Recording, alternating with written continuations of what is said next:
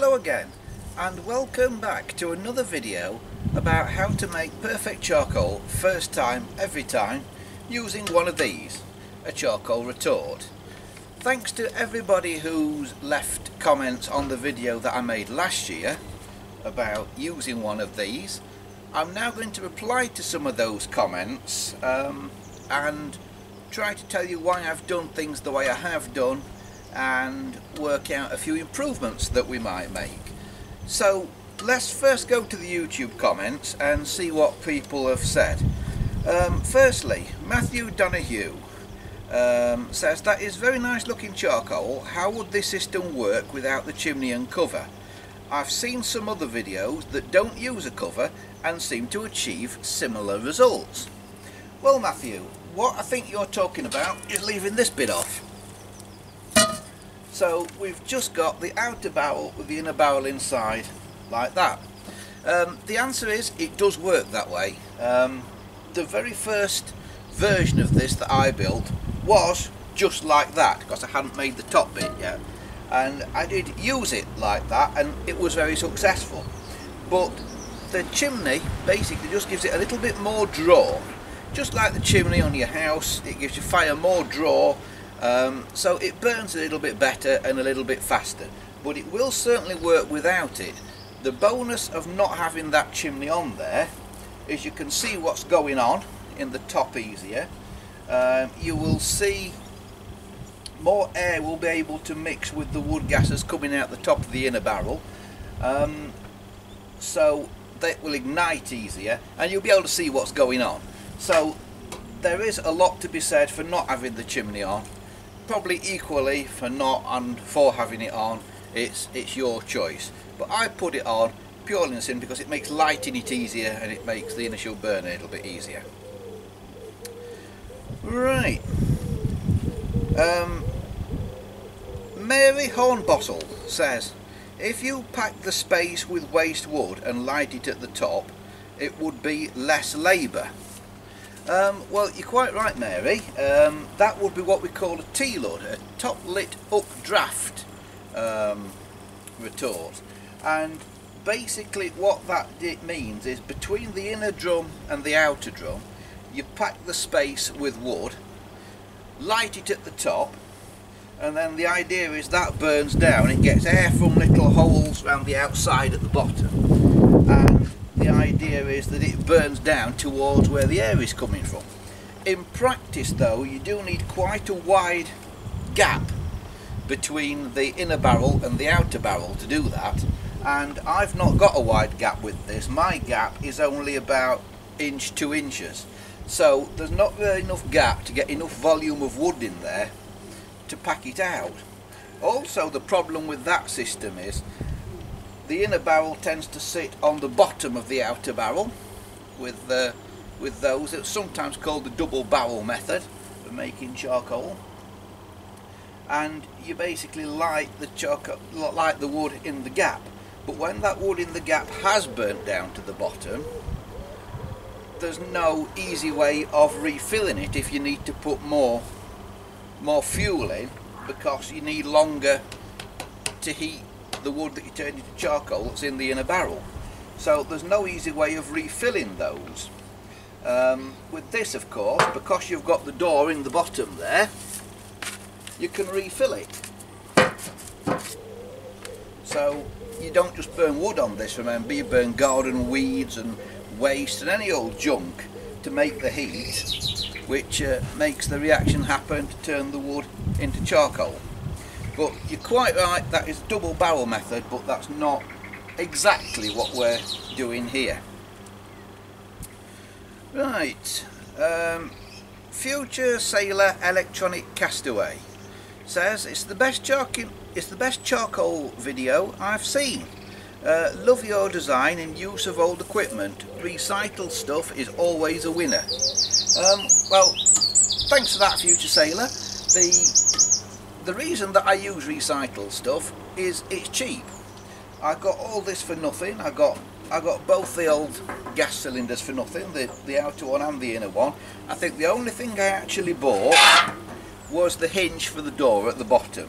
This uh, the handle on the door at the bottom, believe it or not, is a lifting eye from my old Land Rover engine.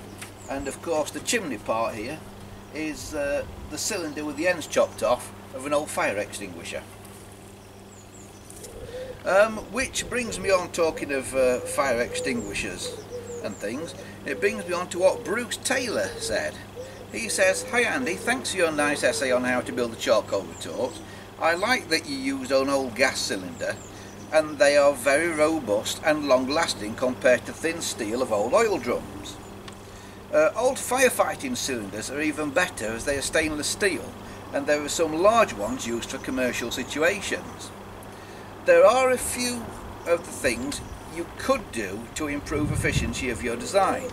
Firstly, rather than cut slots in the bottom of the fire chamber, i.e. the external barrel, you could drill a couple of rows of holes around the sides at the bottom. So what Bruce is saying is rather than have slots inside here in the fire grate, drill holes right down at the bottom of the sides instead. Um, it says a step drill is good for you doing this. It says then the barrel can just be set on the ground and the ashes are contained. Right, the reason I've not done it that way Bruce is because I know there's a lot of people out there that say a fire that is burning wood should admit the air from above it and a fire that is burning coal should emit the should admit the air from underneath it but I've done some experiments and I still find it's better it burns hotter and it burns faster even with wood if you admit the air from underneath which is why I've got what is essentially a fire grate, those slots cut in the bottom of the barrel. Also, I didn't really want to retain the ash in the barrel, I wanted it to drop out because if you're using clean wood to fire the burn, that doesn't make much ash at all. But if you're using garden rubbish like weeds and twigs and all kinds of junk out the garden, then that does sometimes make a bit more ash. So with this system, I can rake the ash out from underneath it while it's still burning. So that's why I've done it the way that I have. I've personally found that having the having the air coming from underneath up through a fire grate works better in this situation. I know there are people out there who are going to disagree with me on that, but that's just what I've found through trial and error. Right, you also say Secondly, invert your retort so that the valve hole is at the bottom. Make the top lid just the same except don't drill a hole. You want to force the gases from the feedstock out through the bottom so that your fire will ignite them.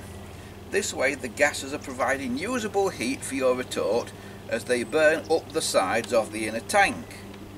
A row of holes at the top of the outer barrel then and at the base of the stack will introduce secondary air to feed the flames and keep the smoke gases burning for a much cleaner burn.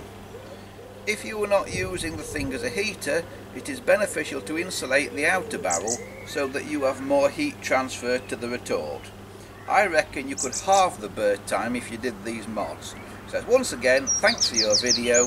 Here in Australia, gas cylinders only have a 10 year life before regulations stipulate that they must be inspected before being recommissioned.